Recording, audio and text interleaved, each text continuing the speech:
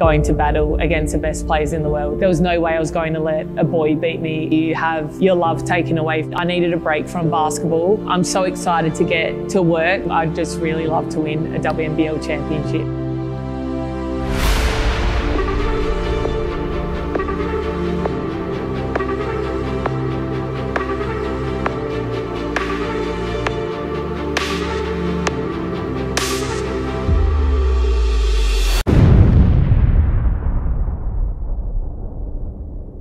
I'm Tess Madgen. I'm a combo guard for the Melbourne Boomers and the Australian Opals. I started playing when I was seven and I'm from a small country town in the Barossa Valley. My older brother Ben and my older sister Carly played a lot of sports growing up, but I used to go watch Ben play basketball and I thought it was looked like a really fun sport to do. And when I was seven, um, I started playing. Growing up with two brothers really um, I guess, enhanced my competitive nature. And there was no way I was going to let a boy beat me out on the court.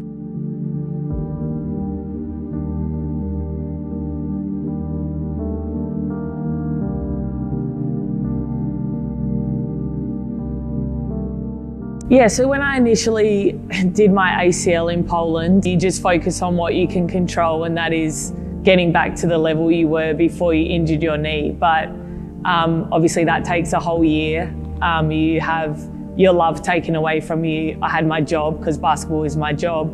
Um, and then you're not seeing your, you know, your closest friends every day, which is one of the things I love about basketball. So you feel very isolated, um, but there's always things that you can control. So for me, that was working every day on my rehab, um, and I also completed my first university degree which probably wouldn't have happened if I didn't hurt my knee. Um, I needed a break from basketball um, mentally. I was pretty um, mentally fatigued after playing professionally for so long, and you know I just missed out on the Rio Olympics the season before that. So it was a great opportunity to refresh mentally, physically, and emotionally from basketball. And then when I came back, um, I just loved it even more than I ever had.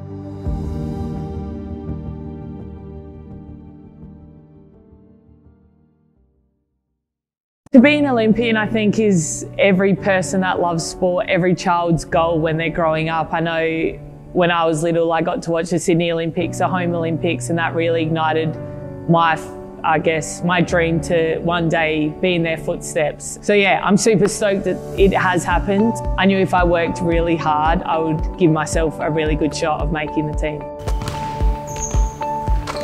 The thing I'm looking forward to most is getting out on court with the other 11 of my teammates and going to battle against the best players in the world.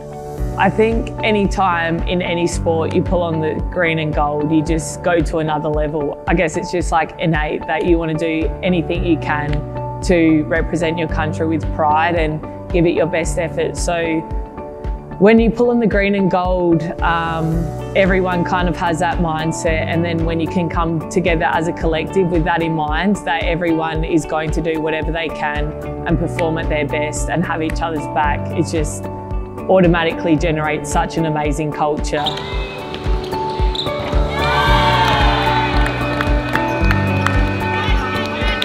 The goals I would like to achieve before I retire are winning a WNBL championship. Growing up, I wanted to play in the WNBL, play in Europe, play in the WNBA, go to a World Cup and go to an Olympics. So I've done all of those and now as a team, I'd just really love to win a WNBL championship.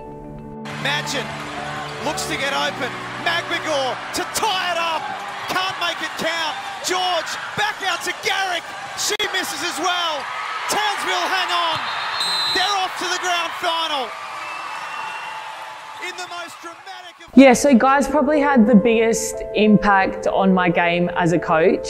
Being reunited with him last season, I just, you know, realised why I love being coached by him so much. He leaves no stone unturned in um, getting his individual players ready, but then the team ready to compete game in, game out. And I always feel so confident and capable when he's my coach. Sorry, getting emotional.